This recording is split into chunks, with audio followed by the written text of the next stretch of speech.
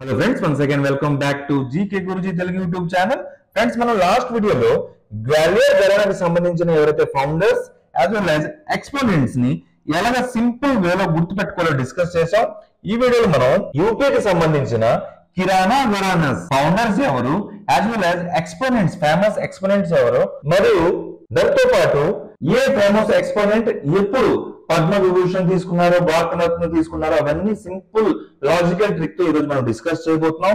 ఈ video complete అవ్వగానే మీకు కిరాణా ఘరానాకి సంబంధించిన eleven important and famous experience పేర్లు యాజ్ వెల్ యాజ్ వాళ్ళకి ఎప్పుడు ఎవరికి ఎప్పుడు అవార్డు దొరికిందో మరియు ఫౌండర్స్ ఎవరో ఈజీగా కంటస్థ పెట్టకుండా కళ్ళు మూసుకొని మీరు పటా పటా పటా పటా ఆన్సర్ చెప్తారు. ఇది నా గ్యారంటీ నా రిక్వెస్ట్ ఏంటంటే వీడియోని స్కిప్ చేయకుండా లాస్ట్ దాకా జాగ్రత్తగా వినండి. ఎక్కువ టైం ఉండదు. ఫైవ్ మినిట్స్లో ఈ ట్రిక్ని మీకు ఎక్స్ప్లెయిన్ చేస్తాను. విత్ ఇన్ ఫైవ్ మినిట్స్ కళ్ళు మూసుకుంటే మీరు లెవెన్ ఎక్స్పోనెంట్స్ పేర్లు ఎప్పుడు అవార్డు దొరికింది యాజ్ వెల్ యాజ్ ఇద్దరు ఫౌండర్స్ పేర్లు కిరణ్ అగరానికి సంబంధించింది. ఎక్దమ్ అంటే పెదవ మీదనే ఉంటుంది అనమాట అది నా గ్యారంటీ టైం వేస్ట్ చేయకుండా మనం వీడియోని స్టార్ట్ చేసేద్దాం. లెట్స్ స్టార్ట్ ఫ్రెండ్స్ ఈ ఇమేజ్ చూస్తున్నారు కదా? వీళ్ళందరూ చాలా ఫేమస్ ఘరానాస్ అన్నమాట. ఓకే చాలా ఫేమస్ ఘరానాస్. వీళ్ళందరి పేరుని ఎలా గుర్తుపెట్టుకోవాలి? ఇప్పుడు మనం డిస్కస్ చేద్దాం. ఫ్రెండ్స్ ఇద్దరు మిత్రులు కలిసి ఒక పార్ట్నర్షిప్ బిజినెస్ చేద్దాం అనుకున్నారు. పార్ట్నర్షిప్ బిజినెస్ ఏంటంటే ఒక కిరాణా షాప్ పెడదాం అనుకున్నారు. ఇద్దరు మిత్రులు కలిసి ఒక కిరాణా షాప్ కిరాణా అంటే మీకు తెలిసి ఉంటుంది కదా గ్రాసరీ షాప్ అన్నమాట. ఎవరు? ఇద్దరు మిత్రులు కలిసి ఒక కిరాణా షాప్ స్టార్ట్ చేయాలనుకుంటున్నారు. అందులో ఒక మిత్రుడు ఏమంచో ఆ అనేసి స్టార్టింగ్లో అగ్రిమెంట్ అయిపోయిన తర్వాత డబ్బులు ఇవ్వడానికి చాలా ఇబ్బంది పడుతున్నారు. ఎప్పుడు చూసినా అబద్ధాలు ఆడి వాయిదాల మీద వాయిదాలు వేస్తున్నాడు. అబద్ధాలు ఆడి వాయిదాలు వేస్తున్నాడు. ఇంకో పార్ట్నర్ అబద్ధాలు అంటే చాలా చిరాకు అనమాట ఇంకో పార్ట్నర్కి ఏంటి? అబద్ధాలు అంటే చాలా చిరాకు. అందుకని కోపం వచ్చి లాస్ట్కి కర్ర ఇచ్చి కొట్టాడు. కర్ర ఇచ్చి కొట్టాడు. ఎవరు కొట్టాడు? ఈ అబద్ధాలు ఆడిన వాయిదాలు వేస్తున్న పార్ట్నర్కి ఈ అబద్ధాలు అంటే ఇష్టం లేని పార్ట్నర్ కర్రిచ్చి కొట్టాడు. ఓకే? ఈ మాత్రం గుర్తుపెట్టుకోండి డేట్ అనేది నేను ఎక్స్ప్లెయిన్ చేస్తాను తర్వాత. ఓకే ఫైనల్గా ఏదో కర్రిచ్చి కొట్టిన అగ్రిమెంట్ అయింది. అగ్రిమెంట్ అయిన తర్వాత వాళ్ళు ఏం చేశారు? ఒక బిజినెస్ స్టార్ట్ చేశారు. సో ఫైనల్గా ఎలవలో కలిసి ఒక బిజినెస్ స్టార్ట్ చేసేసారు కిరాణా షాప్ ది ఓకే కాకపోతే అందులో ప్రాబ్లం ఏంటంటే నైన్టీన్ నైన్టీన్ నుంచి స్టార్ట్ చేశారు. అప్పటి నుంచి ఆ కిరాణా షాప్ అనేది చాలా గందా. గంధ అంటే నీటిని క్లాన్ ఉండేది కాదు. ఇందులో అంటే డట్టి ఉండడానికి ఇందులో ఏమంటారు? గంధ అంటారు అనమాట చాలా గంధ ఉండేది. గంధ ఉండడం వల్ల ఏమైందంటే వాళ్ళకి ఎప్పుడు ఒక పెద్ద అవార్డు లాంటిది ఏమీ దొరకలేదు. పెద్ద వైభవం ఏమీ దొరకలేదు షాప్కి నైన్టీన్ నైన్టీన్లో స్టార్ట్ చేశారు. అప్పటి నుంచి ఆ షాప్ కిరాణా షాప్ ఎప్పుడు గంధ ఉండేది. సఫాయి ఎప్పుడు జరిగేది కాదు. గంధ ఉండేది. సఫాయి ఎప్పుడు జరిగేది కాదు. దానివల్ల ఈ షాప్కి పెద్దగా వైభవం ఏమీ రాలేదు.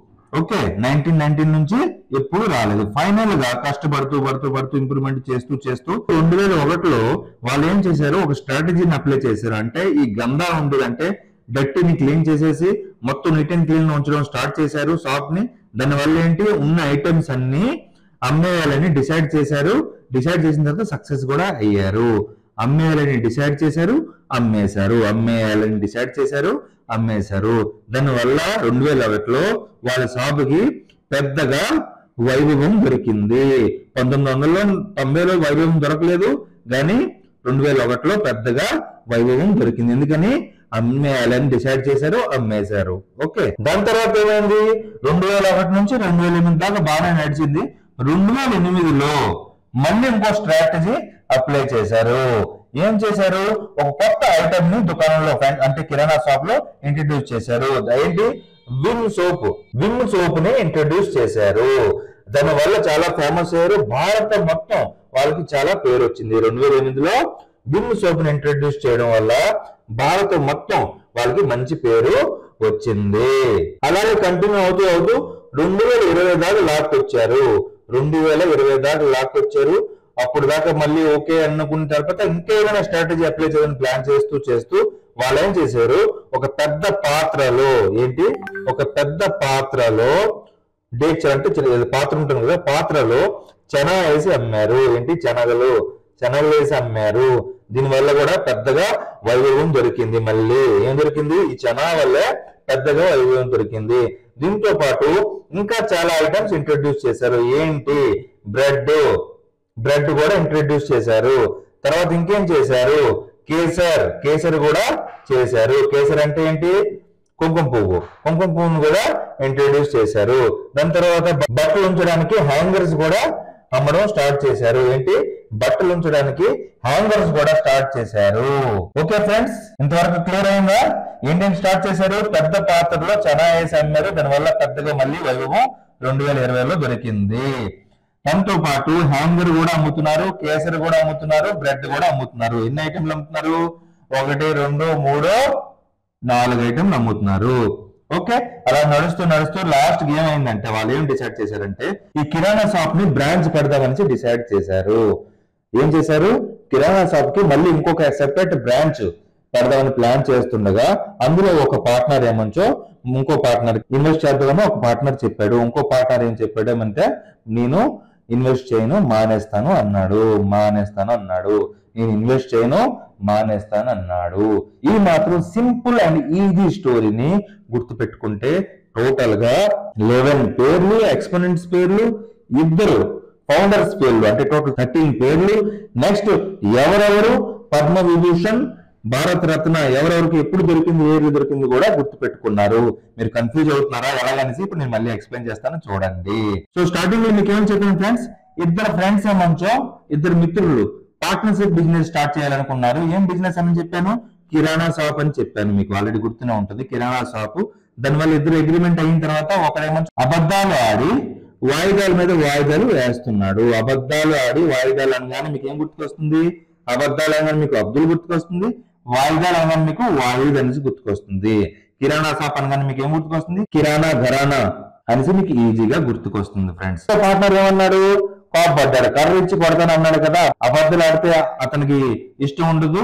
అందుకని ఏం చెప్పాడు? కర్ర ఇచ్చి కొడతాను అన్నాడు. కర్ర ఇచ్చి అనగానే మీకు అబద్ధాలు అంటే ఇష్టం లేదు. అబ్దుల్ కర్ర ఇచ్చి అనగానే మీకు కరీం. కర్ర ఇచ్చి కరీం. ఈ విధంగా మీరు ఫౌండర్స్ ఎవరైతే పార్ట్నర్స్ ఫౌండర్స్ అంటే దుకాణం స్టార్ట్ చేద్దాం అనుకుంటే ఫౌండర్స్ కదా దుకాణం స్టార్ట్ చేద్దాం అనుకుంటే ఫౌండర్స్ కదా. సో ఫౌండర్స్ ఈ విధంగా మీరు ఇద్దరిని కోడేట్ చేసి గుర్తు పెట్టుకోవచ్చు నెక్స్ట్ నేను ఏం చెప్పాను? గంధ. పంతొమ్మిది వందల తొంభైలో గంధ అయిపోవడం అంటే షాపు చాలా డట్టిగా ఉండేది. డట్టిగా ఉండడం వల్ల పెద్దగా వైభవం రాలేదు అని చెప్పాను. తర్వాత సఫాయి చేయడం చాలా అవసరమని చెప్పాను.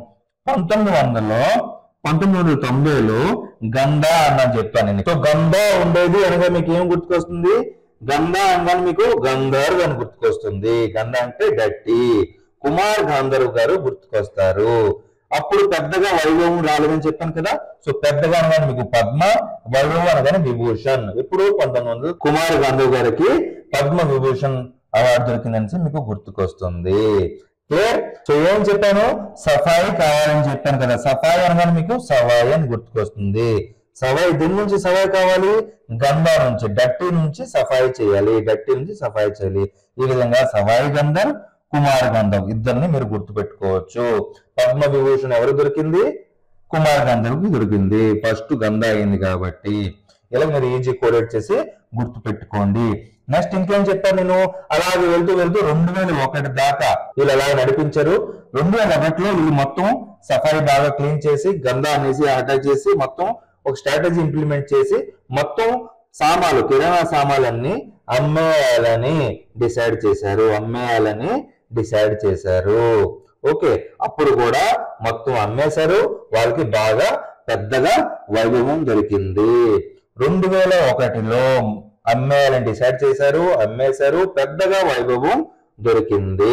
అనగా అంజాదలి అమ్మేయాలి. అంజాదలి అమ్మేయాలి. మొత్తం అమ్మేశారు పెద్దగా వైభవం దొరికింది రెండు వేల ఒకటిలో. ఈ విధంగా మీరు అమ్మేయాలి అనేది గుర్తుపెట్టుకుంటే అంజాద్ అలీ అని పేరు గుర్తుకొస్తుంది. రెండు వేల ఒకటిలో పద్మ విభూషణ్ దొరికిందని కూడా గుర్తుకొస్తుంది. నెక్స్ట్ అలాగే రెండు వేల ఒకటి నుంచి రెండు వేల ఎనిమిది దాకా కొనసాగిందని మీకు ఆల్రెడీ ట్రిక్లో చెప్పాను కదా. సో రెండు వేల ఎనిమిదిలో కొత్త ప్రొడక్ట్ ఇంట్రడ్యూస్ చేశారు. ఏంటి? Vim soap. ఏంటి? విమ్ సోప్ని ఇంట్రడ్యూస్ చేశారు. దానివల్ల చాలా కీర్తి ప్రతిష్ట దొరికింది ఈ కి- కిరాణా షాప్కి. భారత్ మొత్తంలో భారత మొత్తంలో విమ్ సోపు వల్ల ఈ కిరాణా షాప్కి గరానా కిరాణా షాప్కి ఉత్తరప్రదేశ్లో మంచి పేరుతో పాటు భారతదేశం మొత్తం మంచి పేరు దొరికింది విమ్ సోపు వల్ల రెండు వేల ఎనిమిదిలో. ఇది అన్నాను కదా ట్రిక్లో సో విమ్ సోప్ విమ్ అనగానే మీకు ఏం గుర్తుకొస్తుంది? Bheem. Vim Bheem Vim Bheem.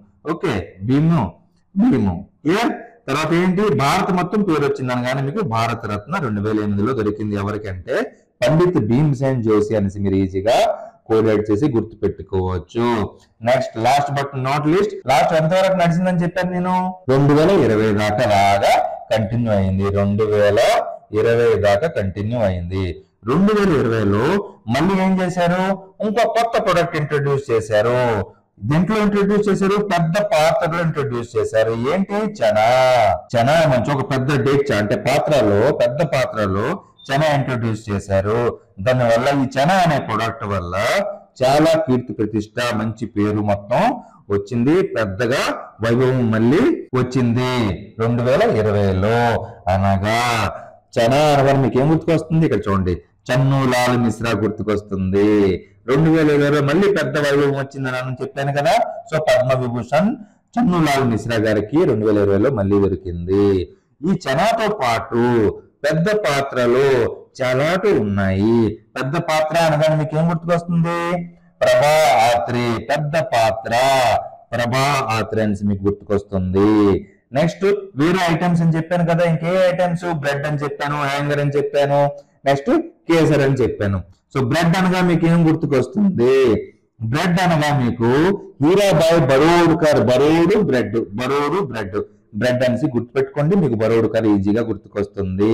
తర్వాత హ్యాంగర్ అని చెప్పాను నేను. ఏం చెప్పాను? హ్యాంగర్ అని చెప్పాను. సో హ్యాంగర్ అనగానే మీకు ఏం గుర్తుకొస్తుంది? గంగుబాయ్ హంగల్. హంగల్ హ్యాంగర్. హంగల్ హ్యాంగర్ అనేసి గుర్తుకొస్తుంది.